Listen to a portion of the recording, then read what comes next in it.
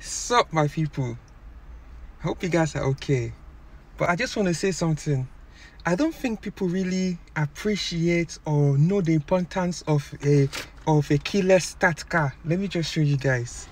So I have the key. The key is here, but I can just put my leg on the clutch and just press start. Yeah, the key is still here. It's still here, and um, let me just um, let me just. I don't know where to put this camera.